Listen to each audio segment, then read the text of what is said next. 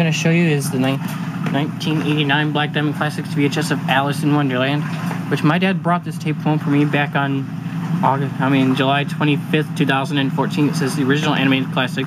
I did have another one. I have this tape, this tape, but I'm definitely getting rid of that one. It's the spine character profile of Alice. And the back, and it says, You'll be charmed, delighted, and deliriously amused by this latest example of the superb heights to which Disney has raised the art of movie animation, says the New York World Telegram. You can see it's the tape, the sticker label. It's got a print date. March 15th, 1992. Same print date.